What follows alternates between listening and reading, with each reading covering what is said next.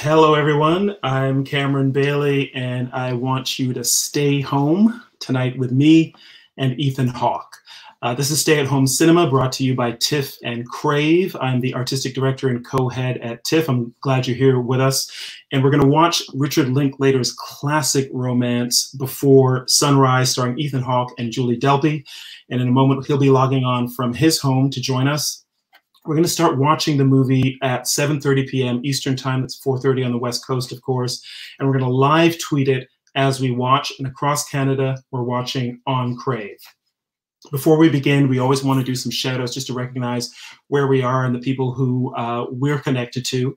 Uh, first, to all Indigenous storytellers from coast to coast to coast and their communities.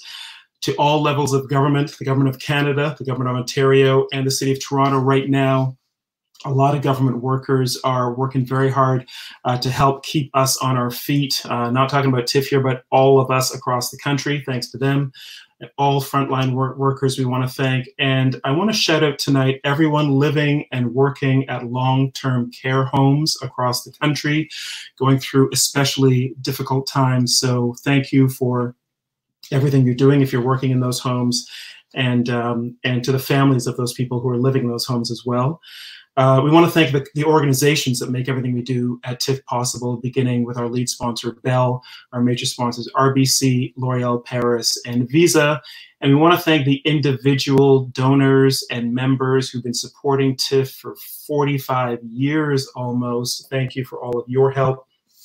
And now we want to talk a little bit about Before Sunrise. Uh, people fall in love with this movie and it seems to be a love that really lasts. It's uh, celebrating its 25th anniversary this year, launched at the Sundance Film Festival in 1995, immediately became a kind of a rite of passage for so many young lovers. Um, a whole generation, I think, figured out what attraction was and longing and loss from watching this movie and living with these characters, Jesse and Celine. Uh, of course, it was followed by Before uh, Sunset in 2004, and then in 2013, Before Midnight, kind of forming a, a perfect trilogy of romance as it matures. People do want this series to continue, though, so I'm going to ask Ethan Hawke about that in a bit. Ethan Hawke has worked with, with, Richard Linklater over those three movies and uh, again on Boyhood. Uh, he has a career that goes all the way back to films like Gattaca, which we premiered in Toronto in 1997, and then also Training Day with uh, Denzel Washington, which premiered again with us in Toronto in 2001. Ethan Hawke is the director of four films of his own. He's a novelist. Uh, he's done great work on the in the theater, four-time Oscar nominee and a man that in everything he does asks the big questions. We're going to ask some questions of him right now, including questions from TIFF members and from social media. Ethan Hawke, welcome to Stay at Home Cinema. Hey, thanks for having me. That was so uh, beautifully well spoken. All the people we're thinking about today, and it's interesting hearing you talk about the premieres of the other films. You know, Training Day premiered the couple days before September 11th. That's right. You know, and it, you know, when you're part of a film festival as big as the Toronto International Film Festival is, it, it you, you think about it in terms of history like that, and it's it's a powerful moment we're living through right now. So thanks for having me. No, I'm really glad you're here. Um, we got a, a, lot of questions I want to ask you about uh, before sunrise, and I know our members and, and some people on social media want to have some questions too. So let's jump in. Um, you know, you've got a long history now, 25 years with this movie. You must have seen it work its magic on people over that time. Why do you think people love it so much? You know, it's a dangerous question for me to answer and not sound like a total, Is you it, know, blowhard. Uh, but I, I'll I'll tell you this: that when when we were first I, I had auditioned. I mean, I could tell you the whole story of how I came to the project, but I had auditioned. I got the part, and for some reason, I had a lot of people in my life, agents and different people, tell me not to do the movie. Dazed and Confused had just come out and was a big bomb, and I thought it was a work of staggering genius, but it didn't make any money, and it was a, it was kind of a high point of my career at that moment. Uh, Reality Bites had just come out. I mean, high point by the standards of how many offers I was getting. Right. You know, if, if that's your judgment call.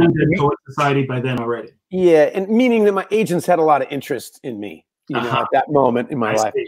and um, and they were, were people were trying to talk me out of doing that movie, and I met Rick, and I and I told him, I said, you know, the script is is difficult reading, and he said this thing. He said, you know, I don't want you to worry too much about the script. I'm inviting you to be a filmmaker with me. And he said, My whole life I've gone to the movies, and there's like espionage movies and helicopter and shootouts and, you know, all this action. Everything that I see is all this drama that you would think that my life, our lives, have no drama. And, and yet that's not the way I feel. Mm-hmm. My life feels very exciting to me and I've never been involved in a gunfight or a helicopter chase or you know a speedboat, you know, through the canals of Venice. I mean, you know, but but my life is still really interesting. And I, he said, and I thought about what is it the most exciting thing that's ever happened to me, really. And he said it's connecting with another human being. Hmm. And I said, I want to make a movie about connection you know and and and what that's really like. And if we could put that on screen i think people would care. And he said and that's not something i can script out perfectly. Mm-hmm. i need to invite two actors and i need you to help me cultivate a connection and put it on screen. And when he said that i remember thinking yeah i want to see that movie. I mean mm-hmm. that's that is the most exciting thing. When you you know, it, it, can happen in a lot of ways, but when you have some kind, when someone touches your heart and they get get through all the barriers you put up, or all the neuroses you have, or all the confident whatever walls you've created, and somebody navigates through that and they touch you, you feel like that's why you were born. You know, for this moment to experience mm-hmm. it, and and so that was our challenge with that first film. That the the challenge was that high to Rick. You know, um, he he had just had a an interesting experience with his own methodology on Dazed and Confused. For people that are fans of that movie, you know, he, he had that movie was created out of an intense rehearsal process. But he was, I don't think he'd mind me saying, he was really disappointed with himself in how much better he did with the men than the women.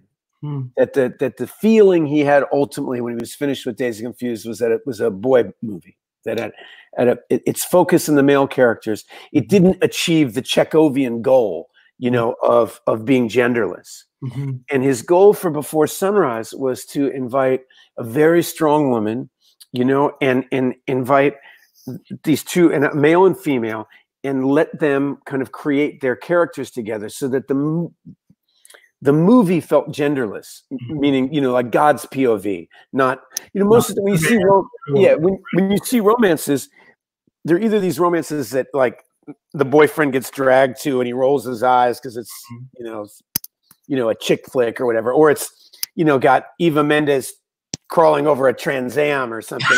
you, know, you know, I mean, and, and the girls are rolling their eyes like, what is this, right? Yeah. And and so Rick's dream was like, I want to make a romance that men like and women like. And, and that's the secret that we're talking about. That's I think I think that's the answer to your question. Right. Okay. Um, there's a somebody named Bella on Twitter who asked a question I want to know as well, which is, what do you think clicked between you and Julie Delpy to give Jesse and Celine this incredible chemistry?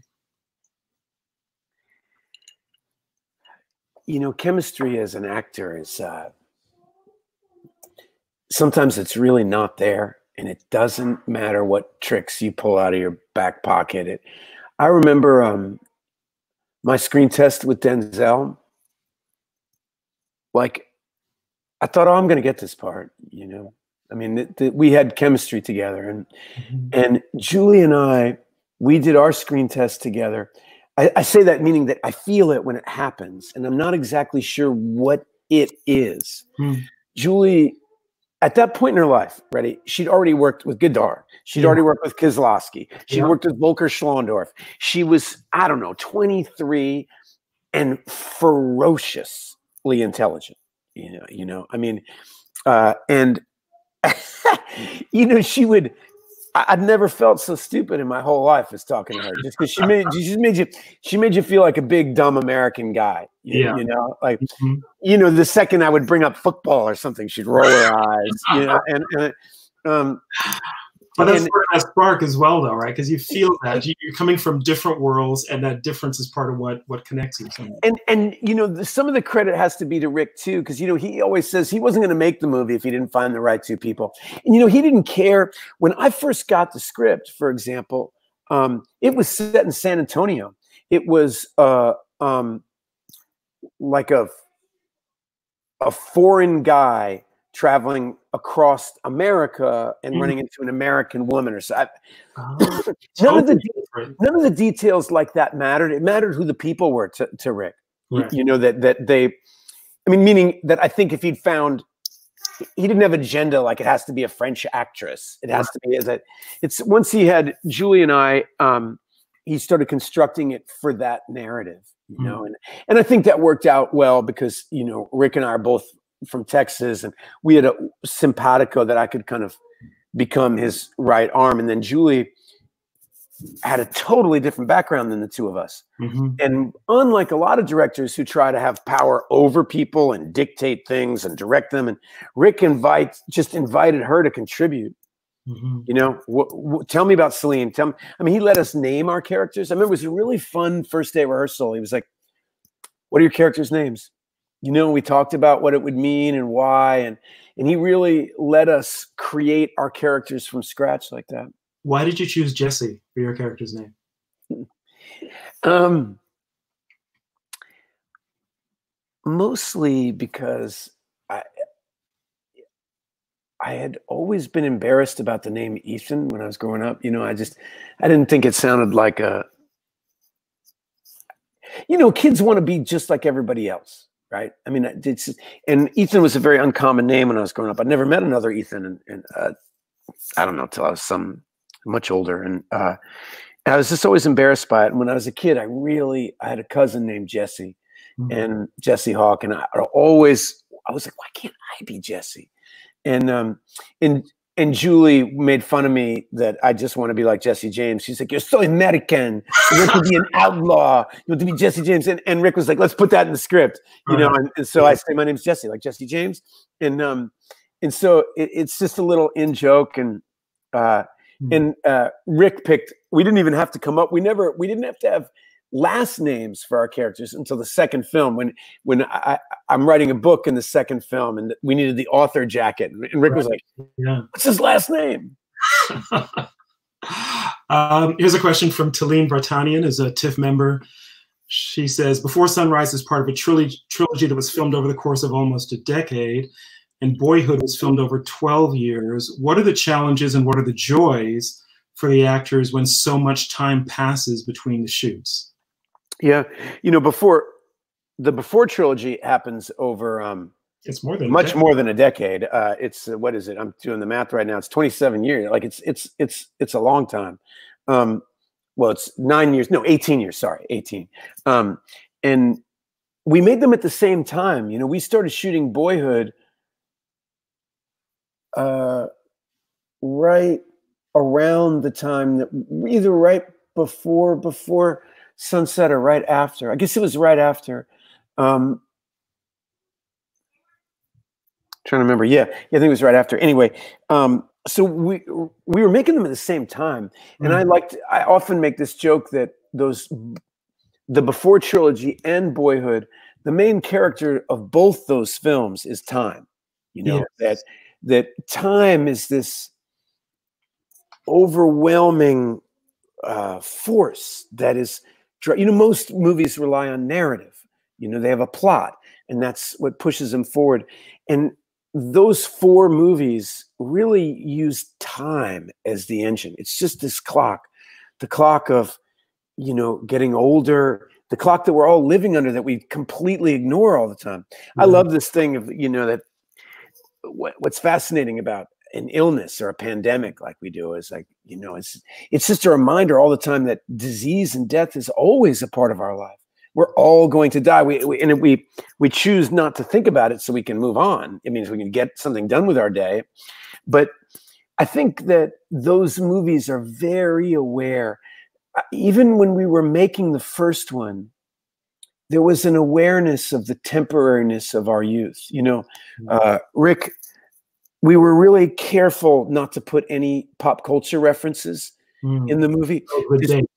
Yeah, and we, we really wanted the movie to age like it could have been in the 60s, it could be in the one thing we couldn't have predicted is phones. You know, the one thing that's really dramatically different uh, is that now, if this were happening, they would have their phone, and the decision not to call each other uh, would be a much bigger decision. I mean, not to not to share emails or find the person on Instagram or whatever. You know, that's a very different decision now. And huh.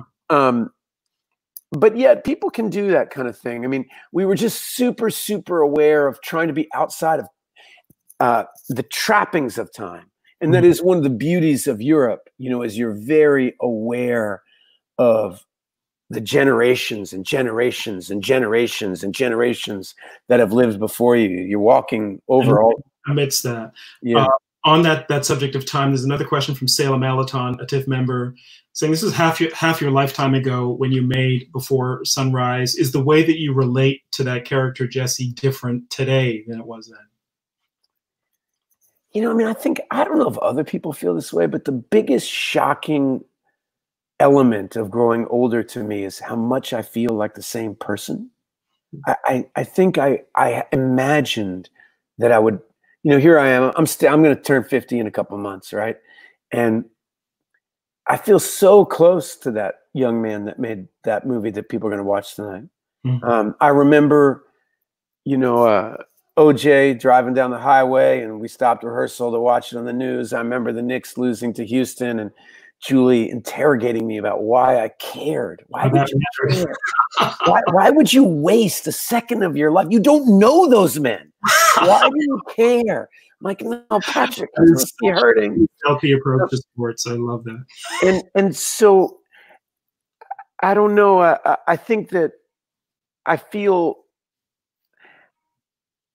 because it's kind of been a life project for so long, I can't help it. But during this pandemic, imagine how Jesse and Celine would be. Like sometimes I think, you know, when people ask all the time, are, are we going to make another one or whatever? I have this imagination of like, like, well, wouldn't it be amazing to see Jesse and Celine? You know, I, I first had the idea actually watching all those beautiful videos of people in Italy and how they were hurting and playing the trumpet out their yeah. windows and and I could picture Jesse and Celine in an apartment like that, just talking and talking and talking, and you know, trapped in some hotel room in Italy or something. That's a, mm-hmm. I uh, I could picture that. But so I'm, I'm constantly thinking. I remember when um I first, you know, I had perfect sight my whole life. I was always proud of my hawk eyes, right? You know, and like, and all of a sudden, you know, boom, I need glasses. Yeah. And you see, this is the pandemic. Is that I I I broke my glasses. I can't. yeah. uh, anyway, but I remember when I was went for my optometrist, you know, exam, optometrist, whatever the right word is there, uh, for the exam. I remember thinking, oh wow, so if there's another before movie, then Jess, Jesse's getting glasses too. It's like this right. parallel life. I'm like, what would Jesse say about getting glasses? What does this mean to us? And mm-hmm. um, you know, and I, I you know, Julie is always so funny about sickness and death, and she would say something absolutely hysterical. And so I, I, I really, I'm sure you always she was the one doing this Q and A because no, we just want to see you together again. Yeah, I know, I know, we want to be together again. Making them, come on. It's a, it's a funny. I always think about what Jesse would think about X or hmm. Y when it happens to me. Hmm. All right. Last question. This one's for me. There are going to be people out there who are watching Before Sunrise for the very first time tonight. And especially if you're young and you're going through similar things, what do you want people to look for? What do you want them to know before they start watching Before Sunrise for the first time? One of the reasons why I'm doing this Q&A tonight and why I feel so proud over these 25 years of this movie uh, for this movie is is um there was a moment in rehearsal when Julie said, Rick, this movie is going to be so boring. It's just these two people talking. We need to get some jokes. We should call a professional joke writer and get them to contribute jokes. It's not funny. It's so boring. And and Rick said, um, Julie, I've been in this hotel room writing this movie with you for four weeks and I have never been bored. Hmm. It's 12, 14 hours a day, and I haven't been bored for one second. And if we could put you, hmm. all that is you on screen, then no one will be bored. And if they are, they can go to hell. you, you, know? Um, and and really what he's saying there is that we are enough. It's a very hard thing for us to as people to comprehend is that we are interesting. We have something to say. We are valuable, every one of us, you know, and it, it's really only our posturing that makes us boring and cliche, hmm. you know, and, and I hope that young people see this movie and know that they are enough, you know, that they, who they are. You don't have to be, you're special from the moment you were born. And it sounds corny and everything like that, but it, at its essence, what the movie is when it talks about connection and love and people, people simply witnessing each other, that that has a huge power if it's the real you, you know. Um, and that I, I hope that, you know, I think that the same way that, you know, sometimes I leave Harry Potter or Avatar or Star Wars and I just get a little blue because my own life like I'm not blue and I don't get superpowers and I don't, you know, and and um, but I think Rick's movies make you realize that w- your life is magic. Mm. Yeah. yeah. beautifully put. Thank you. Wow, Ethan, thank you so much. We're going to start watching. Get your snacks ready, whatever you need to do ready. 7:30 p.m. Eastern. We're going to press play on Before Sunrise. We'll be live tweeting it. We're using the hashtag TIFF at home. Ethan Hawke, thank you so much for joining us tonight. Thanks for having me, man. Really enjoyed talking to you. Me too. Take care. All right. Bye bye.